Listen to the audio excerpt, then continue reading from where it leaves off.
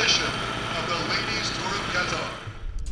Yeah, super tough. It was uh, racing uh, right from the gun. We started uh, at kilometer zero, and it was one big fight to get in the echelon. And uh, I, was happy I made it. And then uh, we just had to work uh, 112k exactly, I think. So yeah, it was a really tough day out there.